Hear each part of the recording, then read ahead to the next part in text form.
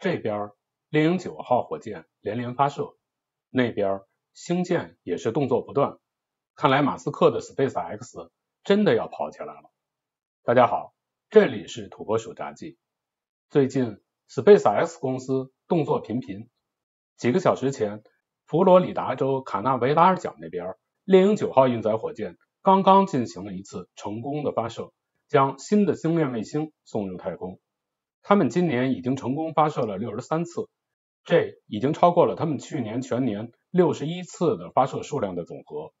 看来马斯克今年进行一百次发射的目标越来越近了。德克萨斯州博卡奇卡这边，星舰的工作也是紧锣密鼓，发射场坪铺设钢板，发射场进行喷水实验。六月进行了星舰飞船 SN 二五的涡轮泵实验和静态点火实验。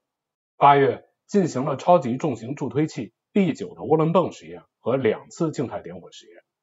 超级重型助推器静态点火实验后，马斯克立即发文说，已经在为第二次星舰的发射做准备了。九月五日，参加第二次星舰发射的 SN 二五飞船和超级重型助推器 B 九，在德州博卡奇卡发射场的发射台上对接完毕。据 SpaceX 公司说，他们现在就在等 FAA 的批文。一旦 FAA 同意，他们可以立即进行星舰的第二次发射。但是 SpaceX 的动作并没有就此停止。九月七号，新的星舰飞船 SN 二六也转到了博卡奇卡发射场。大家可以看一下屏幕，SN 二六和即将进行第二次飞行的 SN 二五有着非常明显的区别。位于屏幕左侧的是新的 SN 二六飞船，而位于屏幕右侧的是。即将参加星舰的第二次飞行实验的 SN 二五飞船，SN 二六没有此前星舰飞船常见的控制舵面和翼面，另外它也没有像此前的星舰飞船那样铺设防热瓦。为什么会出现这样的一种情况呢？答案是两个飞船的用途是不同的。准备进行星舰的第二次飞行的 SN 二五飞船的飞行目的是由星舰的第二次飞行任务决定的。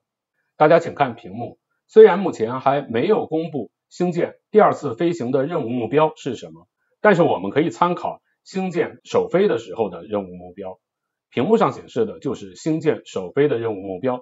它的目标是成功的从博卡奇卡发射场发射升空，按照预定的计划在预定的高度实施助推器和飞船的分离，然后助推器返回地面，落于墨西哥湾附近的海面。而星舰飞船则在近地轨道飞行一段距离，最终重返大气层，降落于太平洋附近的海面。以上就是星舰首飞时的任务目标。而由于首飞的失败，星舰的第二次飞行任务目标应该和星舰首飞的任务目标不会有太大的差距。因此，SN 二五飞船是要重返大气层的，并且在大气层内飞行，所以它需要绝热瓦和控制舵面以及翼面。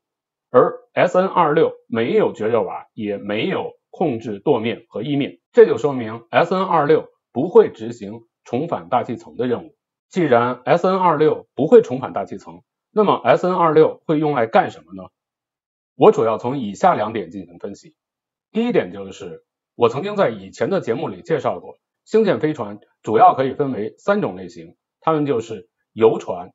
客运飞船和货运飞船。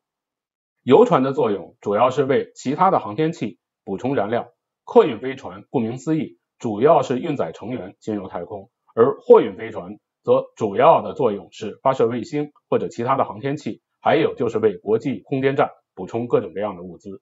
其实游船也分两种类型，大家请看屏幕，位于屏幕上左侧的是普通的游船，而位于屏幕右侧的是被我称为太空加油站的游船。在这两种星舰飞船里，星舰游船运输燃料往返于地面和太空加油站之间，为太空加油站补充燃料；而太空加油站则长期的停留在近地轨道或者其他需要的轨道，为其他的航天器补充燃料，无需返回地面，因而没有绝热瓦和控制舵面、翼面。这样看来，马斯克的整个太空交通系统的规划是越来越完善了。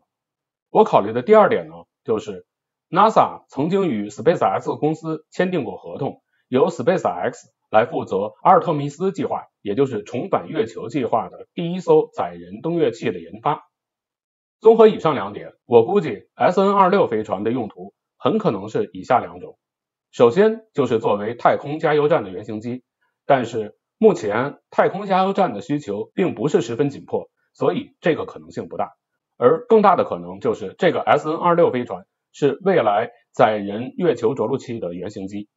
它很可能在不久的将来就会发射升空，飞向月球，并在那里进行月球着陆和升空实验。至于实验后它是停留在月球轨道上，还是返回近地轨道，那就不得而知了。不过以马斯克这种将省钱进行到底的性格，说不定马斯克就会让它停在月球轨道上，等待着阿尔特密斯三任务的宇航员的到来了。不过老话说得好，千里之行始于足下。我现在更期待着星舰的第二次发射的早日到来，并且取得成功了。好了，今天的节目就到这里，谢谢大家的观赏。欢迎大家订阅、评论、点赞，咱们下期再见。